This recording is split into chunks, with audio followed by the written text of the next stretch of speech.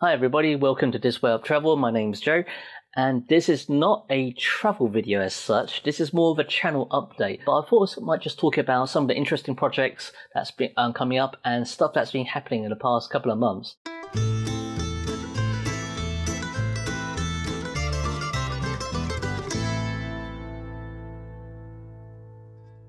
So I did a channel update at the end of last year on New Year's Eve, and actually I really enjoyed doing that channel update. It gave me a chance to really connect with my audience a bit more on a personal level.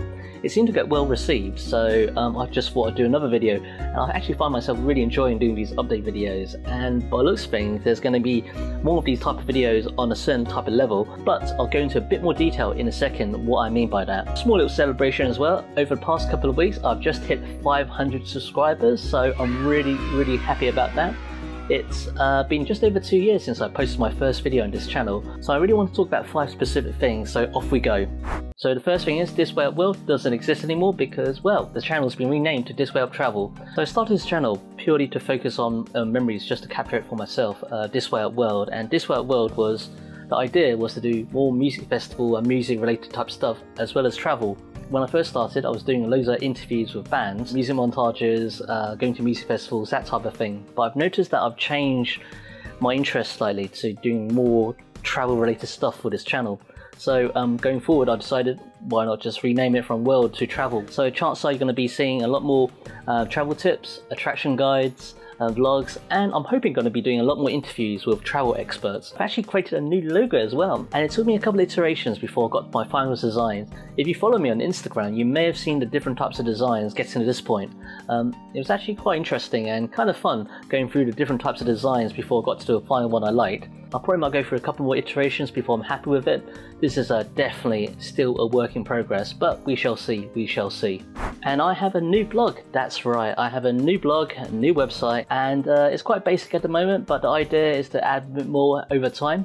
Um, I wouldn't call myself a great writer and it's not definitely not my main focus. The reason why I created a blog is because there's a problem with YouTube where once you upload a video you can't really create a new version and re-upload it because basically it's a new video so um, some of the information can get stale over time.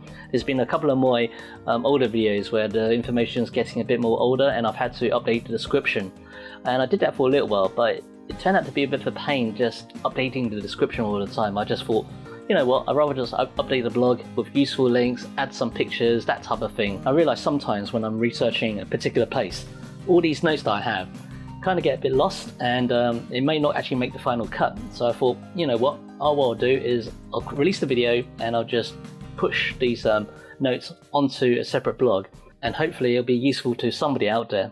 So right now I'm absolutely loving my Instagram stories. So if you go to my Instagram, This Way Up Travel, you're going to see stuff about my stories about what I'm doing in my daily life. But when I went to Germany, I posted quite a bit and you saw my little adventures all around Hamburg, Frankfurt and Munster. Work I'm doing, stuff around London, and of course food, lots of ramen, lots and lots of ramen, and of course lots and lots of street art. So if you're a fan of street art, you should definitely check it out. But the biggest project I'm really excited to get started on uh, is, drum roll, the East to West Challenge. Two of my friends, Ian and Becky, are doing this epic hike across the UK. They're going from the most eastern to the most western point of the UK mainland. It's about 800 miles or so, and they're doing this journey to support Mind. I'm actually going to create a, another video detailing more about the details. It's quite going to be quite exciting uh, project. Basically, I'm playing the filmmaker. It's my biggest project to date, so it should be really, really quite interesting. I thought to myself, you know what, I should really document that journey of creating the story of creating a travel video as well. It's very Inception. So I've decided I might just create a production diary just to detail my journey of creating this uh, film. It's going to be a feature film, so it's probably going to be about 45 minutes to 60 minutes.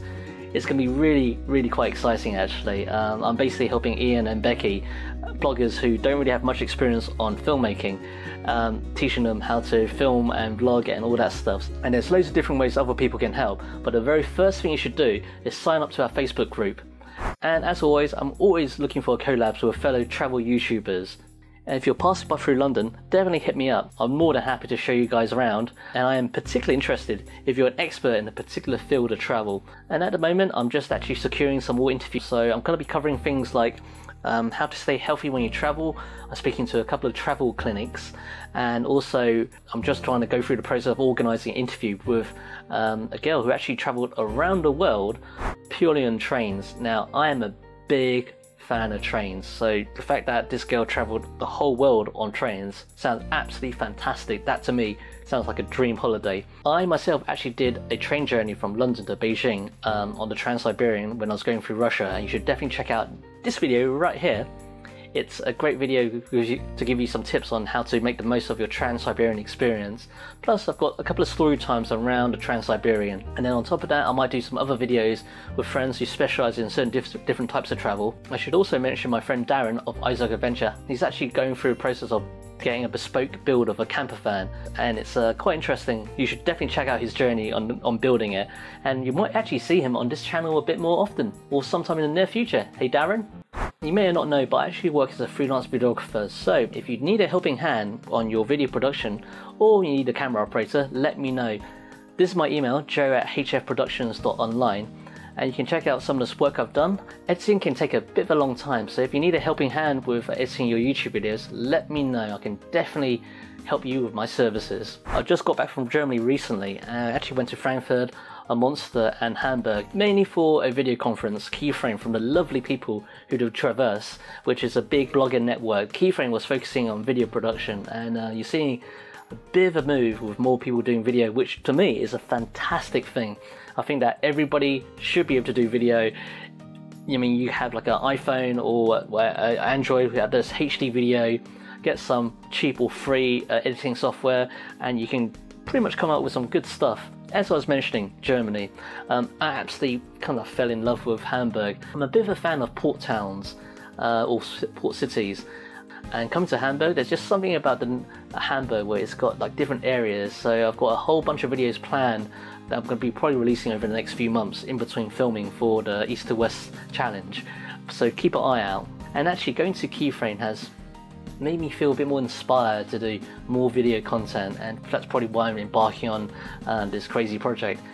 Um, it's just like I had a chance to see people who've never done video release a video and just see it on, on the big screen. And you know what? It makes me feel good to see that. There's so many different types of people doing video with their different view on how to make travel videos.